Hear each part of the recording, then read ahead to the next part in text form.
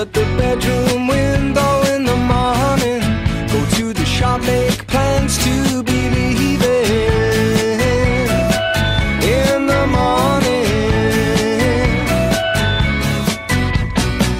Thought I was sleeping, it was just a dream. An alley